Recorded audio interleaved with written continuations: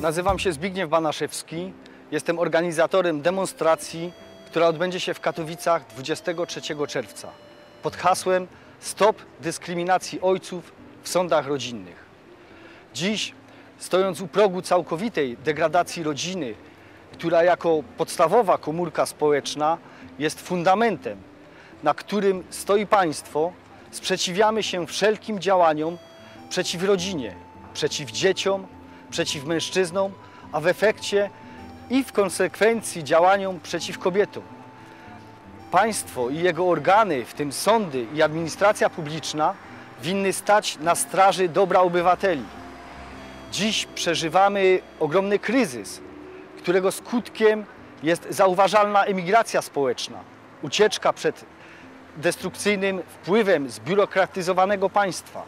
Nie możemy dopuścić do tego, aby instytucje państwowe powołane do tego, aby czynić działania o charakterze pomocowym przez swą opieszałość, nietolerancję, stosowane stereotypy, tak zwaną praktykę orzeczniczą i zwykłą znieczulicę działały na naszą niekorzyść.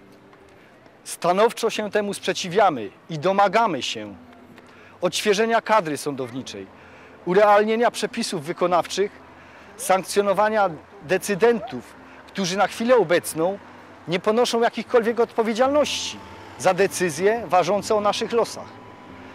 Może nie wszyscy wiedzą, ale można w Polsce ordynarnie kogoś okraść i to wszystko zgodnie z prawem. Urzędnicze decyzje zmierzają do całkowitego wyniszczenia i tak już wyniszczanego narodu.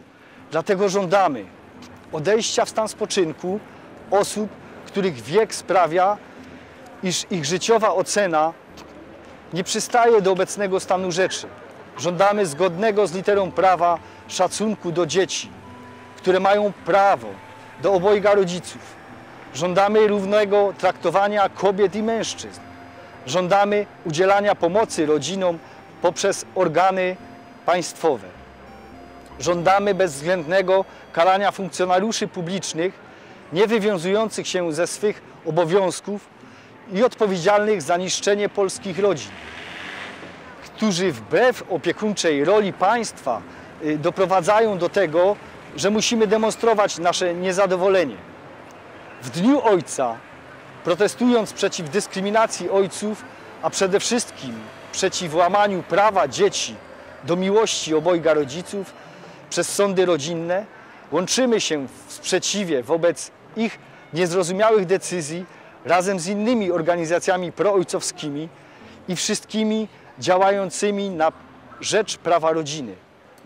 Kierując się odpowiedzialnością rodzicielską i mając na uwadze zabezpieczenie żywotnych interesów dzieci, domagamy się prawa do ich realnego wychowywania i respektowania równoprawnego traktowania obojga rodziców, które gwarantowane jest nie tylko przez Konstytucję Rzeczpospolitej, ale także przez Konwencję Praw Dziecka oraz Europejski Traktat Lizboński.